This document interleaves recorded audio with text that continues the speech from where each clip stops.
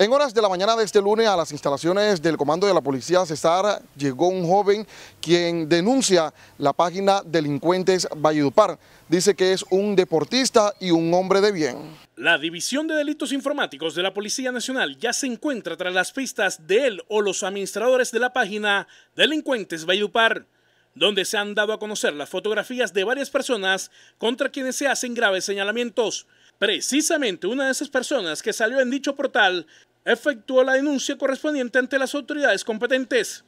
Estoy siendo afectado por la página Delincuentes Valledupar porque en el día de ayer salí como atracador robamoto y la verdad no es así. Yo estudié en UPAR System y estoy aspirando a entrar a la mina para porque tengo un hijo, este, y mi aspiración es, salir adelante y entonces me siento perjudicado por la, la, publicación esa que subieron ayer de mí. ¿Qué haces tú? ¿A qué te dedicas?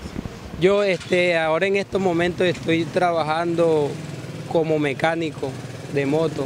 Claro, señor, soy deportista, he representado al Cesar en diferentes departamentos, diferentes ciudades y soy uno de los más destacados del deporte aquí en el nivel de Cesar. No sé la verdad, pues por estar con las personas equivocadas en mal momento. La verdad es todo eso fue en una fiesta, esa foto fue en una fiesta de un primo. ¿Hace cuánto?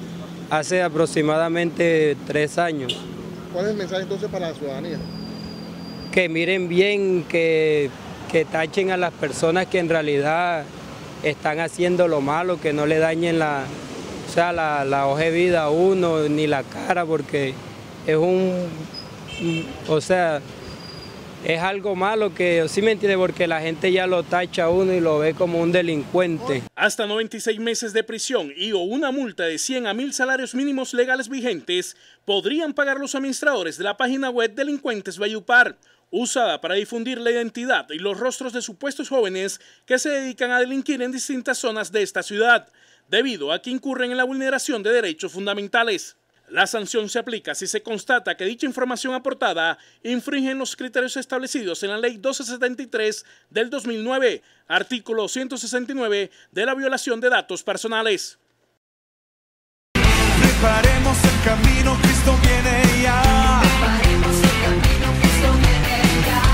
Desde hace más de 40 años Dios ha bendecido a Colombia con el Centro Misionero Bethesda, una iglesia convencida de que al que cree, todo le es posible.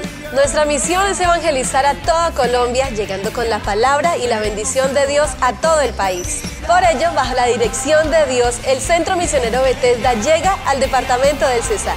Es el anhelo de nuestro corazón que Jesucristo impacte y transforme vidas en esta región del país. Este 11 de abril, Valledupar será el epicentro de este nuevo propósito. Acompáñanos en un tiempo especial en la presencia de Dios. Jesús te dice, yo estoy a tu puerta y llamo. Si oyes mi voz y me abres, entraré a tu casa y cenaré contigo. Este es el tiempo de abrir tu corazón a Cristo. Te esperamos. Preparemos el camino, Cristo viene.